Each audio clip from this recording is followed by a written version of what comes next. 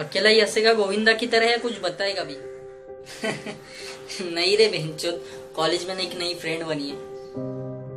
Friend या girlfriend जो इतनी खुशी से चैट कर रहे उससे। झंडू, इसे कौन जीएफ बनाएगा भाई क्यों? क्या खराबी है? ज़्यादा फ्रैंकली बात करती है लड़कों से, और ज़्यादातर लड़कों में ही रहती है। और भाई, लड़कों की तरह गाली भी देती है। तो? तो क्या यार डेफिनेटली ये लड़की के पहले से ही दस लौंडों के साथ अफेयर होंगे। और फ़िज़िकल रिलेशन भी भाई तूने अपनी आँखों से देखा उसे सब करते हुए? नहीं बेजंडू सब लड़के बोलते हैं कॉलेज के।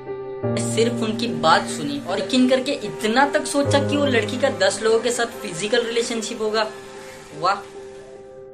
फिर क्या भाई हम्म। सुन ना, तेरे को बताना भूल गया। कल मैंने ऐसा सुना कि तेरी गर्लफ्रेंड किसी लड़के के साथ घूम रही थी। दो तीन लौंडे थे साथ में। क्या बात कर रहा है भेंचोद किसने बोला तुझे? सुना यार मैंने एक से तूने सुन के यकीन कर लिया भेंचोद तो तू कैसे यकीन कर सकता है सुन के कि वो लड़की का दस लौंडों के साथ फ़िज़िकल रिलेशन है? भाई, मैं ये नहीं कहता कि लड़कियों की मुझसे गालियाँ अच्छी लगती है। मगर हाँ वही लड़की अगर किसी बंदे के साथ फ्रैंकली बात करती हो ना तो कभी ये मत सोच कि वो लड़की में खराबी है। भाई, इतना सोच कि वो लड़की को बंदे के ऊपर कितना ट्रस्ट है। बोलना यार, तू भी क्या समझेगा सारा बहुत सारे लोगों की ना सोची ऐसी। अगर लड़की छोटे कपड़े तो लड़की फालतू अगर लड़के फटे कपड़े पहन के घूमे तो स्टाइल बेंचो अगर एक लड़की दो तीन लौंडों के साथ खड़ी हो तो लोग कहेंगे, फालतू लड़की है। लेकिन अगर उसी जगह पे एक बंदा अगर दो तीन लड़की के साथ खड़ा हो तो लोग कहेंगे, वाह, क्या नसीब वाला है।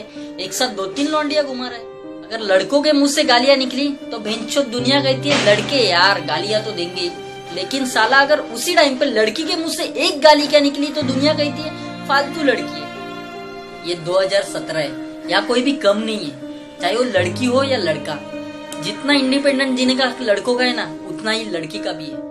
भाई, किसी के बारे में बुरा बोलने से पहले ना, खुद के अंदर झाँक के देख लो। अगर किसी लड़की के बारे में अच्छा नहीं बोल सकते ना तो बुरा बोलने का हक भी किसी को नहीं है। ध्यान में